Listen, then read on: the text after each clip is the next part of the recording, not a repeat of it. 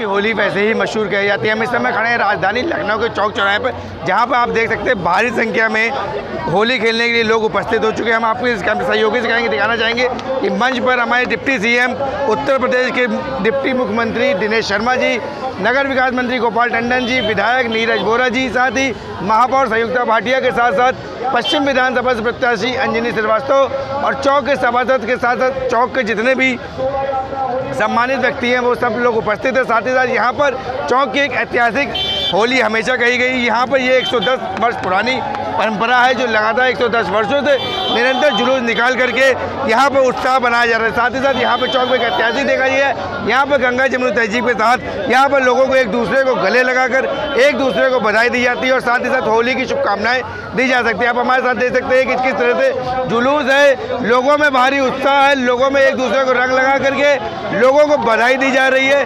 वहीं और भी लोग हमारे साथ उपस्थित हम उनसे भी बात करेंगे कि सर, इस बार किस तरह के आप उत्सव मना रहे हैं होली? बहुत ही रंगारंग होली चल रही है और बहुत ही खुशी का पर्व है और बहुत ही आनंद आ रहा है। अच्छा इस बार होली में देखा गया किस तरह का रंग का ज़्यादा इस्तेमाल किया जा रहा है? सबसे ज़्यादा गुलाल और हर्बल गुलाल का ही यूज़ किया जा रहा है। बिल्कुल। हर्बल गुलाल बहुत ही ज़रूरी है जिससे किसी की भी स्किन खराब ना हो किसी का भी कोई इफ़ेक्ट ना हो। ये सरकार भी लगातार निवेदन कर रही थी कि आप लोग हर्बल गुलाल का इस्तेमाल करें जिससे लोगों कैमरा पर्सन वकार के साथ हिमांशु का news for India Lucknow.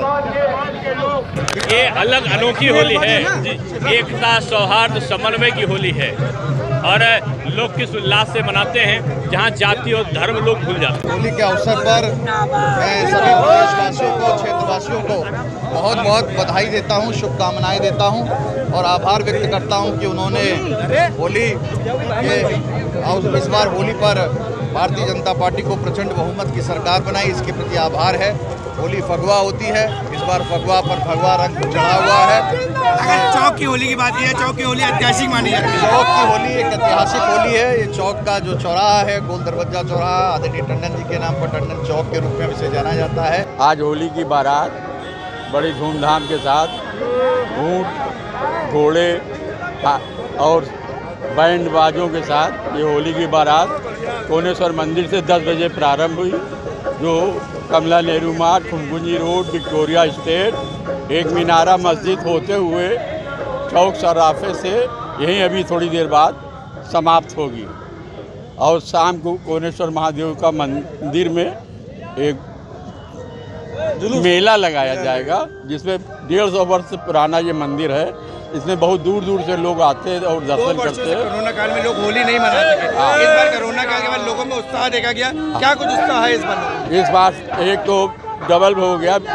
Yogi ji के द्वारा सरकार बन गई और इसमें लोगों में जोश बहुत ज़्यादा हो गया है और लोग बड़े उत्साह के साथ ये होली का पर्व मना रहे हैं। हर्ष और उल्लास का त्यौहार है। आज पूरे देश में पूरी दुनिया में लोग होली मना रहे हैं। लेकिन लखनऊ की होली तो विशेष है। पिछले दो साल से कोरोना के प्रकोप के कारण लोग होली नहीं मना पाए, आज उसकी कसक निकाल रहे हैं। आप देख रहे हैं, ये ऐतिहासिक रंगारंग जुलूस, जिसका कई किलोमीटर का रूट है, यहाँ से निकल रहा है। लोग अबीर गुलाल के साथ रंगों में सरोवर, एक दूसरे को होली की शुभकामनाएँ देते हुए एक मस्ती के आलम में होली मना रहे हैं। लखनऊ की होली में बहुत खासियत है, गंगा जमनी तहजीब यहाँ पर रहती है। सभी बारात मुस्लिम भाइयों की जो कार्यक्रम है और हमारा होली का कार्यक्रम दोनों एक साथ होने के कारण दोनों आपस में एकता बनाए रखी है। और बहुत अच्छा लग रहा है ये होली और शब बरात दोनों की आपके व्यूवर्स को शुभकामना देते हैं। आज हमारा जो त्यौहार बना होली और सबरात एक साथ पड़ रहा है। इसके लिए पहले तो हम आप लोगों का भी शुक्रिया अदा करना चाहते हैं ताकि जो आप लोगों ने नमाजों का टाइम थोड़ा सा आगे बढ़ा लिया है। तो यही हम लोगों की जमुना गंगा जमनी तहजीब है कि हम लोग एक साथ मिलकर त्यौहार मनाते हैं और आप लोगों एडजस्टमेंट करके चलते हैं सब लोगों को।